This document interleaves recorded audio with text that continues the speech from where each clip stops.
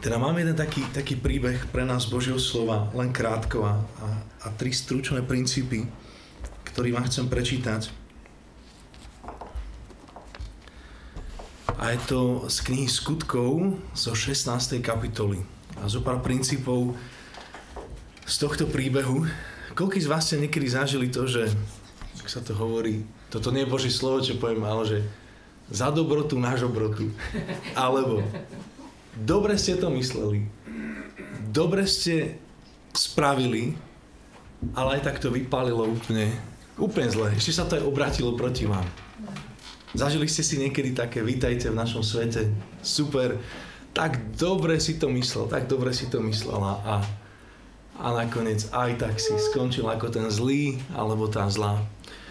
A veľmi podobne sa to stalo aj Pavlovi so Silasom, keď chodili a, po Troáde a je napísané, že teda na tejto ich ceste zrazu a myslím, že toto je prorocký obraz do našej doby, kde toto budeme vydať viac a viac.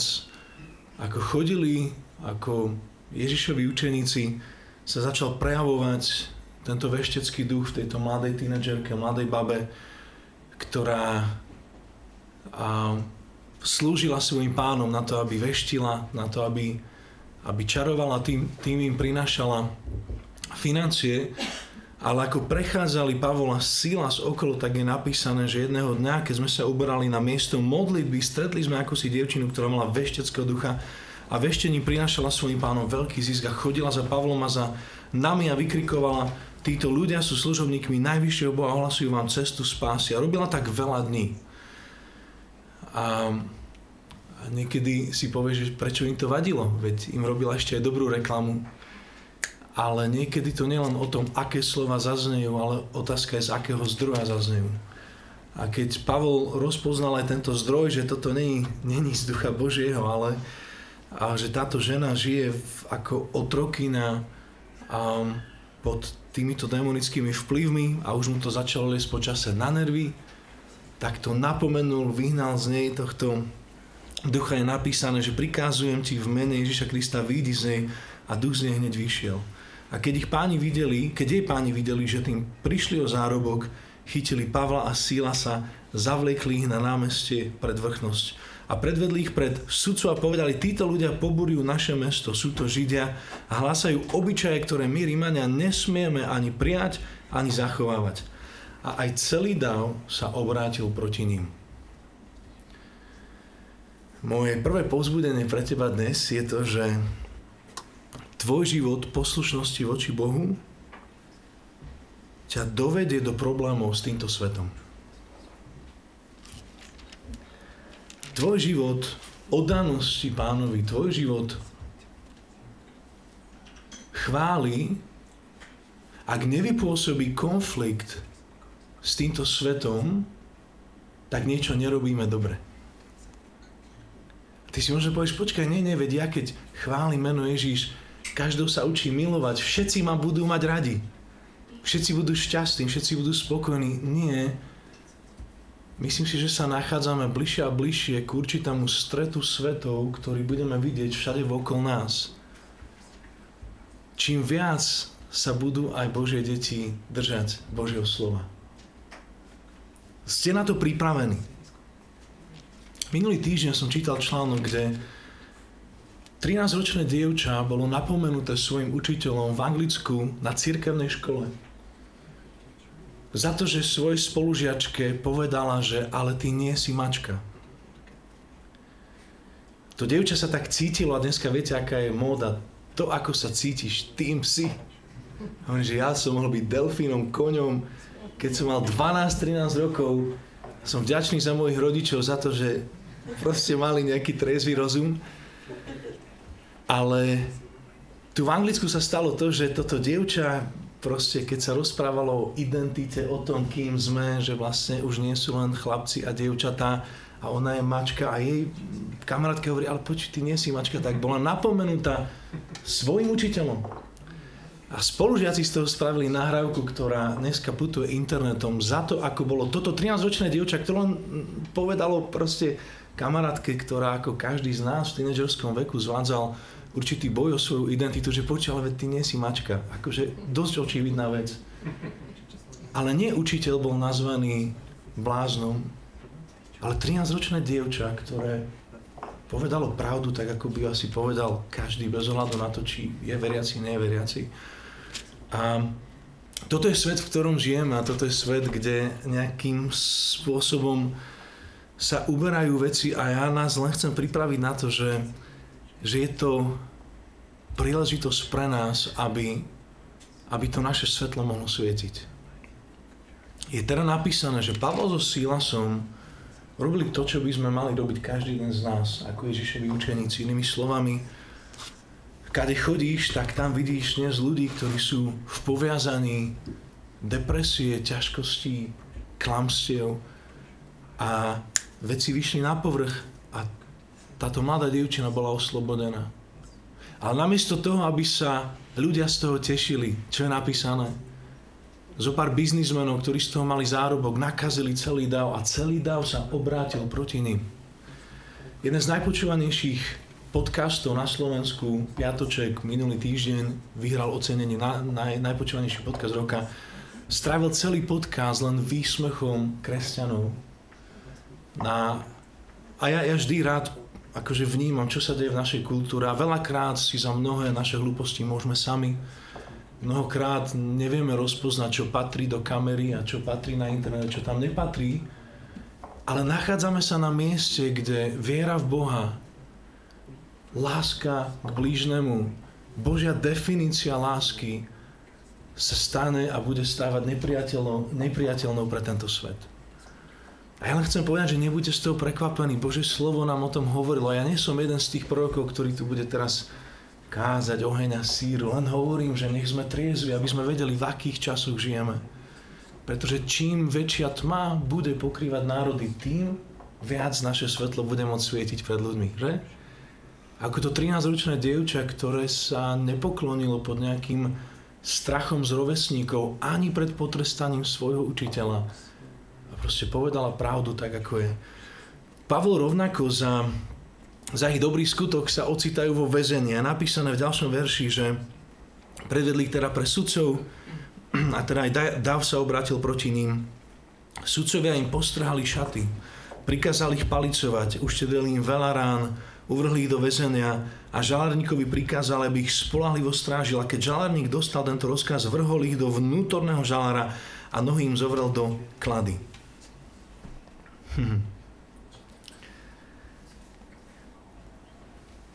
Takže tvoj život poslušnosti Ježišovi, tvoj život oddelenia sa, tvoj život v pravde Božieho slova ťa dostane do problémov s týmto svetom. Hej? Ale tu to nekončí. Len, len buď na to pripravený. Nesnažme sa všetkým vyhovieť, nesnažme sa zbierať priazeň a potlesk ľudí, pretože ak žiješ potleskom, lajkami ľudí, tak veľmi rýchlo skončíš s ich nepriazňou. Ale ten druhý bod a ten, a ten verím, že nás pozbudí, je to, že okolo polnoci sa Pavla Sila zmodlili a spievali Bohu chválospevy a väzni ich počúvali. Hm. Taký, taký ček môjho postoja. Spravil som niečo dobré, pomohol som blížnemu. Za to som skončil vo väzení. Koľký z vás by ste na to začali spievať Bohu chváli dlho do polnoci? Moja slovenská subkultúra mi hovorí, že tak ja chudáčik. Dobre som to myslel a tu som skončil. Vo vezení, páne, ja ti slúžim a pozri sa, čo mám z toho. Sme tu zavretí vo vnútornom väzení. Trošku taká sebalútosť, že? Môže prísť. Namiesto toho Pavola Sila si povedali, nie, my tu ideme chváliť meno Ježiš začali ho chváliť a je napísané, že ho chválili ešte aj o polnoci a väzni ich počúvali. Väčšina ľudí, väčšinu ľudí nezaujíma naša viera, pokiaľ nás neuvidia v našich problémoch a neuvidia postoj, ktorý si zachováme v našich problémoch. V pekný, dobrý, slnečný deň väčšina ľudí si žije svoj život z diálky sleduješ svoj život, ale keď prídu mračná, keď prídu búrky a vidia ťa ľudia prechádzať cez tvoje väzenie, palicovanie, ťažkosti, ktoré ti život pripraví, vtedy môžu vidieť, akú hodnotu má pre teba tvoja viera. A to sa stalo aj tu a pre mňa je to znova prorocký obraz. Títo väzni sedeli okolo nich a sledovali týchto dvoch mužov, aký postoj zaujmu potom, ako boli nepravom hodení do väzenia. Asi nikdy sme nežili v generácii, kde by bolo toľko uväzených ľudí vokol nás. Ešte nikdy sme asi nevideli slova ako depresia, ktorú by poznalo každé dieťa na základnej škole. Ja som do mojich, ja neviem, koľkých rokov nevedel, že depresia existuje. A dnes môžeme vidieť Mnoho ľudí, ktorí žijú v zajatí nepriatia, zmetku a seba nenávisti, ktorí sledujú tvoj a môj postoj, akým spôsobom sa my postavíme aj k ťažkostiam, ktoré, cez ktoré prechádzame. A títo väzni teda sedeli a počúvali. Ja chcem ti povedať, že rovnako tvoj život sledujú iní väzni. Možno sa vysmievajú z tvojej viery, možno ti povedať, že si v 21. storočí čo riešiš, ale chcem ti povedať, že oni ticho sledujú a pozerajú, ako sa zachováš. A tu je napísané, že ako spievali Bohu chválospevy, väzni ich počúvali, v tom nastalo také silné zemetrasenie, že sa otriasli základy žalára a všetky dvere sa odrazu otvorili a všetkým sa uvoľnili putá.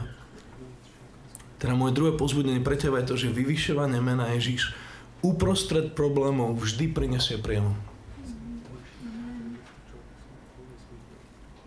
Myslím si, že a keď som sa ťa spýtal, že čo znamená chvála, takéto prvé hudobnícke ma napadne tak chvály sú rýchle piesne a uctievanie tie pomalé. Ale Miško by mi povedal, že nie. Pretože chvála je postoj tvojho života a poslušnosť voči Bohu. A piesne sú piesne a sú to spievané modlitby z nášho srdca voči Bohu. Ale ak dokážeme chváliť Boha uprostred našich ťažkostí, chcem ti povedať, že prielom je na ceste. Pavla Sila začali spievať tieto chvály a prišlo zemetrasenie a je napísané, že ako následok toho zemetrasenia sa všetkým uvoľnili puta. A, a milujem tento, tento Boží rozmer jeho milosti, že ja by som oslobodil len Pavla so Silasom. To sú tí moji dvaja vyvolení tam. Zvyšok ma nezaujíma. A to je napísané, že cez prielom Pavla a Silasa Ježiš priniesol prielom pre celé ich okolie, pre celé ich prostredie. A rovnako tvoj postoj vďaky a vyvyšovania mena Ježiš uprostred tvojich problémov vždy prinesie prielom. Je to tá najsilnejšia zbraň, ktorú máme a tá najvzácnejšia chvála pramení práve vtedy, keď sa možno na to necítim, práve vtedy, keď sa cítim byť uvrhnutý do žalára falošného obvinenia, alebo čohokoľvek, ale budem chváliť pána, budem ho velebiť a on prinesie prielom. Ale potom je napísané ďalej, že keď sa žalárnik prebudil, tak videl dvere väzenia pootvárané a tak vytasil meč a chcel sa zabiť, lebo si myslel, že väzni ušli. Hm. A to je môj tretí a posledný bod. Tvoj postoj chváli uprostred problémov prinesie milosť pokáňa tvojmu okoliu. Tvoj postoj chváli uprostred problémov nielenže prinesie prelom do tvojho života, ale prinesie milosť pokáňa na miesto, kde sa nachádzaš, v rodine, kde sa nachádzaš, vo vzťahoch, v ktorých žiješ. A vyprovokuje určitým spôsobom, konfrontuje ľudí vokol nás. Hm. Pamätám sa, keď mi moja Martinka rozprávala príbeh, keď som ju požiadal o ruku, ona bola na vysokej škole a mala tam proste samých umelecky ladených ľudí, žijúcich všelijakým možným spôsobom života. A mnohí sa aj pýtali, že či je tehotná, či čakáme bábetko. Prečo inak by si vysokoškolačka mala brať proste nejakého mladíka, akože v dnešnom svete je to úplná hlúposť. A, a mala potom rozhovor s jedným priateľom, ktorý žil, máme tu deti, tak chcem byť opatrený iným spôsobom života. A, a, a žil veľmi promiskuitný život. A keď sa tak mohli sami rozprávať, tak, tak prišiel za ňou a bez toho, aby ona kohokoľvek moralizovala hovorila im, že takto žite a takto nežite, prišiel za ňou a hovorí, vieš čo, že čo by som ja za to dal, ak by som mohol mať to, čo máš ty. Naše posvetenie, náš život chvály vždy konfrontuje ľudí vokol nás. A my nemusíme chodiť ako moralizujúci a búchať ľuďom Bibliou po hlave. My len žijeme v posvetení pre Ježiša a ľudia prirodzene sú zrazu konfrontovaní a rovnako tento žalník bol konfrontovaný, pretože zrazu si uvedom, že wow, že ako tu sa niečo udialo, ale ja ja z toho budem mať ešte problém. A tak sa rozhodlo, že si siahne na život, ale napísané, že na to, a teda to už muselo byť naozaj veľmi blízko. Už takmer ako si bral život, lebo je napísané, že Pavol na neho skríkol mocným hlasom. Akože to mi hovorí o tom, že už naozaj takmer si žalerník vzal vlastný život, pretože predtým dostáva inštrukciu, aby dobre strážil týchto väzňov ako to vtedy fungovalo v Malej Ázii, ak by vám ušiel nejaký väzeň, tak radšej si ten život zoberiete sami, pretože to, čo by nasledovalo, je, je, je neskutočný trest. A teda je napísané, že Pavol na neho skrikol mocným hlasom, ale neubližuj si, veď všetci tu. Znova nádherný rozmer, ako Pavol so Silasom nedovolil, aby ich sloboda v Ježišovi zvíťazila nad láskou k ľuďom v okolí. Znova, keby som tam ja bol a som tam nepravom hodený, pozrieť, že pff, po, padla polnoc, padli puta, akože ja miznem, priatelia. Raz sme sa prechádzali Liptovom a dneska sa hovorí veľa o medveďoch a mali sme aj my našu skúsenosť. A s jedným kamošom tak ideme a zrazu ste narazili sme na niečo, čo sme nechceli viac zblízky identifikovať, ale proste začalo to hučať a robilo to zvuky ako medveď. Hýbalo sa to ako medveď, bol to asi medveď. A tak sme začali utekať. A ani sme, ani by si akože keď tie komiksy, keď pozeráte, alebo tie proste zrazu sme zmizli. Ale bežíme dole z kopca opačným smerom a v mojej znovuzrodenej mysli išla len jedna myšlienka, že OK, rýchlejší než medved nebudem. Stačí mi byť rýchlejší než tento tu môj kamoš.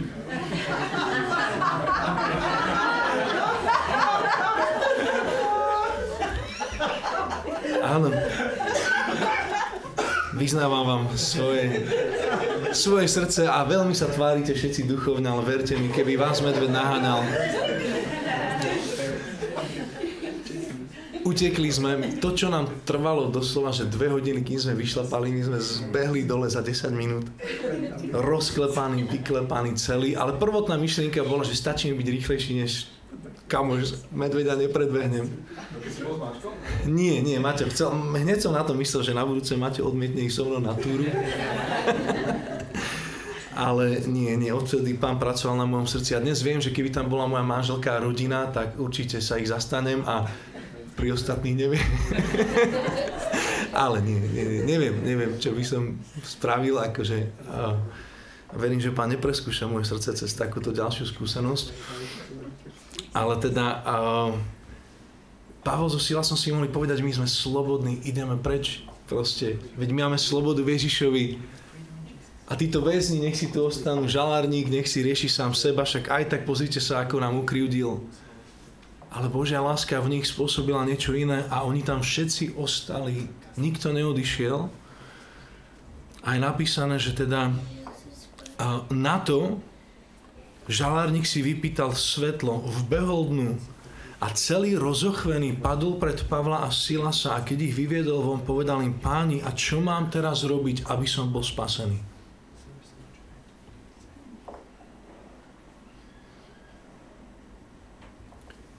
Postoj chvály uprostred našich problémov vypôsobí v ľuďoch, provokuje ľudí v tom, ako je možné, že to dávaš.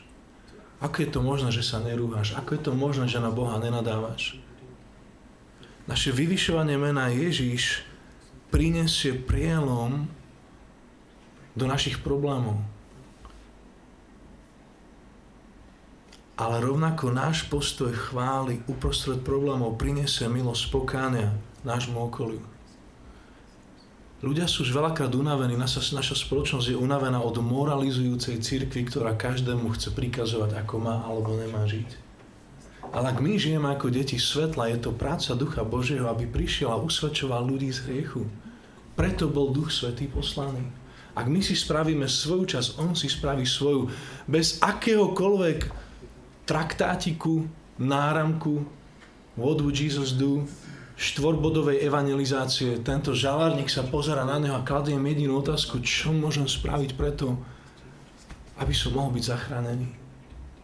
A ja počujem túto vetu úprimné priatelia ako volanie generácie, ktorá dnes žije, volanie mladých ľudí, ktorá je ukrytá v srdciach a v duchu každého človeka, nielen mladého, ale hovorím teraz obzvlášť so srdcom pre mladú generáciu, ktorá bude vidieť ten konflikt dvoch svetov Božieho kráľovstva, kráľovstva temnoty viac a viac a uprostred toho zmetku bude môcť vidieť Božie deti, ako žijú v pravde, ako žijú v láske, ako žijú vedení Duchom Božím a budú môcť prísť a povedať, čo môžem spraviť preto, aby ja som bol zachránený. Keď boli teraz v, v piatok, boli tie worship nights pod mostom pri Dunaji. Niektorí z vás ste tam možno boli.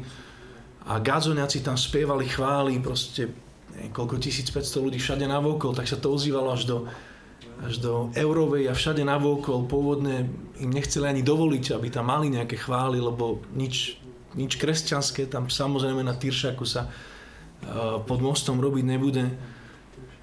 Ale keď sme tak len pozerali na ľudí, ktorí prechádzali okolo na moste, my sme išli mimo most, aby sme mali lepšiu akustiku, sa tam zastavovali ľudia, sledo, sledovali nás ako Alicu v krajine zázrakov. A zrazu ma som videl, jak tam proste ľudia stáli a, a začali plakať. Ľudia, ktorí prechádzali okolo, ako nemali asi potrebu tam proste sa pridať k tým fanatikom, od ktorých môžeme natočiť ďalší podcast. Ale Boží duch sa ich začal dotýkať a proste mnohí len išli okolo, boli dotknutí a ja nám chcem len pripomenúť, že väčšnosť bola vpísaná do života každého jedného človeka. Či dnes chodí s dúhovou vlajkou po meste, alebo ja neviem čokoľvek robí. A ja chcem nás pozvať, aby sme počuli toto volanie ako volanie tejto generácie, čo môžem robiť preto, aby som bol spasený tak ako tento žalárnik. A oni mu povedali, ver v Pána Ježiša a bude spasený ty a tvoj dom. to znie akože celkom simple. A tu máš 4 kroky, ktoré potrebuješ robiť. Ešte len úver v Pána Ježiša. Príjmi Jeho a budeš spasený ty aj tvoj dom. Počujte, tento záver tohto príbehu je fascinujúci. Je napísané, že a ohlasovali pánovo slovo jemu aj všetkým, ktorí boli v jeho dome. A ešte v tú nočnú hodinu sa ich ujal, umil im rany ten istý, ktorý im ich rany spôsobil. O pár hodín neskôr skrze Boží zásah je ten, ktorý im tie rany umýva. Možno ty máš niekedy pocit, že ten, kto do teba hodil kameňom, ako je napísané, kto je z vás bez viny, nech prvý hodí kameňom. Čo ak to pán vypôsobí ten, že ten, kde cíti, že niekto do teba hodil kameňom, bude ten, ktorý sa ti príde ospravedlniť, bude ten, ktorý ti povie, mrzí ma to, prepáč to sa stalo v tomto príbehu. Ten, ktorý im ich rany spôsobil, bol ten, cez ktorého proste cez spôsobenie Božej moci, ten istý, ktorý o pár hodín neskôr im tie rany umýva a utiera. A potom je napísané, že a hneď sa dal pokrstiť on aj všetci jeho domáci. A potom ich zaviedol do domu. Prestrel pred nimi stôl a radoval sa s celým svojom do, svojim domom, že uveril v Boha. Hm. Teda, ten posledný bod, ktorý som, ktorý som vás chcel pozvieť, je to, že náš postoj chváli uprostred problémov prinesie milosť pokánia nášmu okoliu. Aby si sa Miško mohol vrátiť späť. A kým ukončíme, tak chcem, že by sme si tak možno aj my, my zobrali do nášho života tieto tri krátke povzbudenia. Hmm. Veľakrát sa neukáže to, čo je v nás, až kým to nie je zmačknuté, že? Aká šťava z nás tečie. Ako je to pekný pomaranč, je to pekný citrón. Dneska nám Johnny z Janko robili tam limonádu, citronádu, neviem čo všetko možné ale kým nevyšťavím ten rakitník, kým nevyšťavím ten citrón, ja neviem, čo je v ňom. Myslím, že prichádza doba, kedy, kedy veľa vecí vokol nás začne tlačiť. A to nemusí byť prorokom, stačí si zapnúť bežné správy, stačí si vypočuť bežný podcast. Už tu nemáme žiadne deti. Nie? Nie sú tu? Á, ale prosím ťa, istý. Viete čo, poviem len, že som počúval, som to posielal aj teraz nášmu staršovstvu, jednu nahrávku od Jonathana Kána, ktorý je mesiánsky žid a, a venuje sa ako keby štúdiu právekých kultúr, bohov, ktorých ľudí uctievali v tých pohanských časoch a, a je tam jedna strašne zaujímavá paralela, na ktorú nemám čas ju teraz rozoberať, ale jednu z vecí, o ktorej tam hovorí, je v podstate o jednej, jednej z bohyň, ktorá bola uctievaná v týchto časoch, kde prví kresťania, keď prichádzali, chcem ti povedať, že nič nové nie, nie je pod slnkom. V kultúre, kde sa zabíjali deti. Pán mi dal nové zjavenie ohľadom Abrahama a Izáka. Vy si myslíte, že by Boh povedal otcovi, že chodia zabiť svojho syna a tým mi dokáže svoju lásku? Úprimne, kto z vás si myslí, že by Boh fungoval tak, že povie, že vieš čo, akože potrebujem si dokázať svoju lásku, choď a zabi svojho syna. Ale vec bola taká, že Abraham žil v kultúre, kde sa uctievali bohovia, ktorým sa prvorodený syn dal. Či to bol Moloch a ďalší bohovia. Žil v kultúre, ktorá obetovávala svoje deti a preto aj pre Abrahama to bolo niečo celkom akože bežné, čo sa robilo v tých časoch. A práve tu verím, že chcel Boh už vtedy poslať odkaz, že ale ja takto nefungujem. Ja takto nefungujem. Ja nechcem, aby ste vy tu prinášali vaše deti ako obetu a preto pre Abrahama to nebolo tak šokujúce, hoci na toto dieťa svoje Izra- Izáka čakal tak dlho, ale bola to súčasť jeho kultúry, v ktorej žije. Rovnako ako dnes by niekto povedal, že však chod na potrat, však to sa dá vyriešiť. Znova akoby žijeme cyklicky. Jedna z bohyň, ktorá bola v tom čase uctievaná,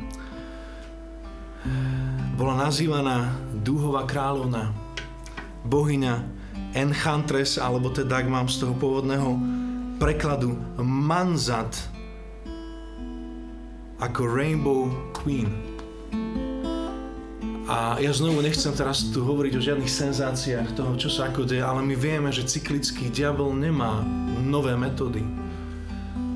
A znova akoby určitá pohánska kultúra, ktorá sa snaží tlačiť na náš svet, do našej kultúry, a pre mňa to bolo akoby znovu také, také uvedomenie si tej taktiky, že niekedy si myslím, že či všetkým ľuďom fakt len preskočilo.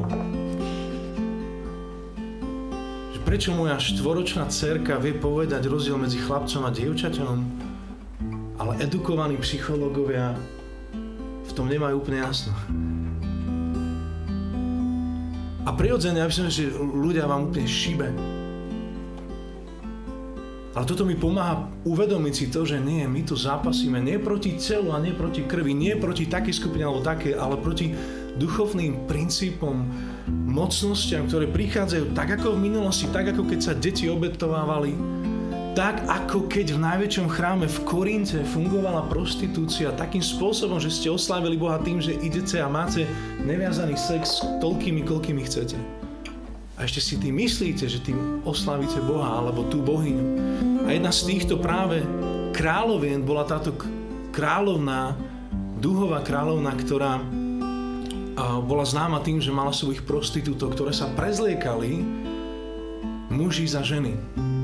Už vtedy bola a nechcem ísť do detailov, len aby sme neboli naivní aj v tom, že čo sa deje všetko vokol nás, pretože si myslím, že tak ako Pavol so Silasom sa ocitli vo väzení len preto, že spravili správnu vec, tak v mnohých pohľadoch nie že nepochopené, ale absolútne potlačenie úplne základných čiernobielých vecí bude prekryté.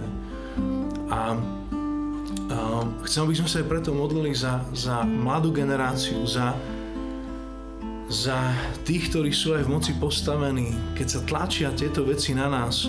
Je tam veľa, veľa súvislostí, ktoré možno niekedy v inom podcaste pomenujem, ktoré mi veľmi pripomínajú túto našu dnešnú dobu, kde dnes žijeme.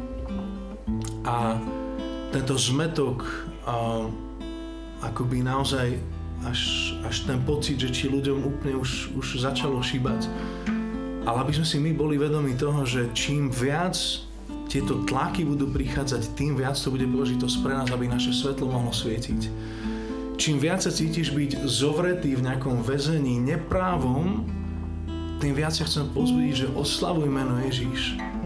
A konečne pochopíme aj my ako slovenský národ, čo je to chvála a úcta, ktoré on je hoden. Dlho sme boli zvyknutí na slobodné uctievanie.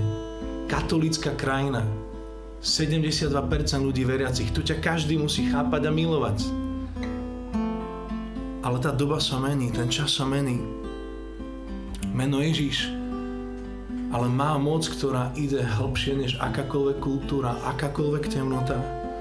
A chcem ťa aj pozbudiť, že ako ho budeš chváliť, tak tvoj postoj chvály prinesie ducha pokáňa, za ktorého sa modlím pre náš národ. Je to milosť pokáňa. Nie je to z nášho presviečania. Hej? Len, len ľudí budem presviečať. Áno, potrebujeme, ako, ako druhý list Petra hovorí, že máme byť pripravení dať odpoveď, vhod aj nevhod, v každý čas byť pripravení zdieľať evanelium. Ale ja si veľmi uvedomujem to, že tieto veci sa musia stať na to, aby prielom mohol prísť. Tam, kde sa roznožil hriech, tam sa roznožila milosť tam, kde naši bratia v iných krajinách platia za svoju vieru svojim životom, a niektorí z nich som mohol krstiť v Izraeli, keď tam prišlo 40 Číňanov z podzemnej cirkvi, ktorý, ktorým hrozilo väzenie, palicovanie, lámanie dvoch len za to, že veria v meno Ježíša a u nás natočili podcastík. Nie, ja verím tomu, že toto je obdobie, kedy kedy potrebujeme spraviť rozhodnutie v našom srdci, že Pane, nie len keď je dobré, ale v každom čase ja ťa budem chváliť. A keď budem zavretý do žalára, tak je to preto, aby ty si dokázal svoju moc. Preto, aby nielen ja, ale aj všetci, ktorí sú uväznení v rukách diabla, pod klamstvami diabla, pod obvineniami mladé ženy, mladí muži, starci, starší ľudia, mladá generácia, rodiny, ktorí žijú v nejakom klame alebo v nejakom zajaci, budú môcť byť oslobodení, pretože uvidia, že je tu viera, ktorá ide až za hrob, je tu nádej, ktorá je väčšia než depresia. Tak sa modlím, Ježiš, aby si nás vystrojil svojim Svetým Duchom aj teraz. A ja sa modlím za túto milosť pokáňa pre náš národ, Modlím sa za to, aby si dal milosť pokáňa. Viem, že sa veľa ľudí modlí za prebudenie, ale ja sa modlím za milosť pokáňa, ktorá bude tým prebudzacím boskom teba ako ženicha. Ja ti chcem pripomenúť, Ježiš, všetky tie proroctvá o našom národe, že aj tu máš svoju hrstku, svoje zvýšky, Páne, aby si dokázal svoju moc, aby si navrátil tento národ k sebe, a ja ti chcem aj ďakovať za mnohé nepochopenia, aj mnohé um, žalovania, krivdy, ktoré prichádzajú aj na Božie deti, pretože vieme, že to všetko v nás má vybudovať vytrvalosť, trpezlivosť, charakter. Ale ti ďakujem, že ty máš to posledné slovo a tvojim Úmyslom nebolo uväzniť Pavla so Silasom, ale bolo priniesť slobodu všetkým uväzneným, vrátane tých, ktorí celý ten systém vymysleli a udržiavali, ako bol tento žalárnik. A tak sa už teraz modlím, aby s každým, kým sa budeme rozprávať, s každým, koho nám pošleš do cesty, sme mohli vidieť toho žalárnika. Mohli sme vidieť jeho kultúru, jeho, jeho, jeho, jeho skupinu, jeho komunitu, ako ten dom, o ktorom tu je napísané, že on pozval Pavla Silasa k sebe domov, prestrelil stôl a radoval sa s celým svojim domom, že uverili v Boha prišlo veľa radosti. Tak sa modlím za každého kto je dnes tu s nami, kto na Zoom, aby aj v tomto období, tam, kde boli problémy a ťažkosti, prišiel prielom a radosť v mene Ježíš pre poslušnosť tvojich detí. Amen.